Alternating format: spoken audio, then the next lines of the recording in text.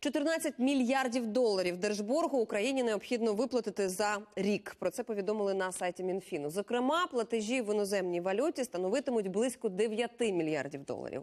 Тож цьогоріч потрібно погасити понад 150 мільярдів гривень внутрішнього і майже 122 мільярди гривень зовнішнього боргу. Я нагадаю, нова програма кредитування МВФ для України стендбай передбачає виділення трьох траншів, у тому числі двох на загальну суму понад 2,5 мільярда доларів до кінця року.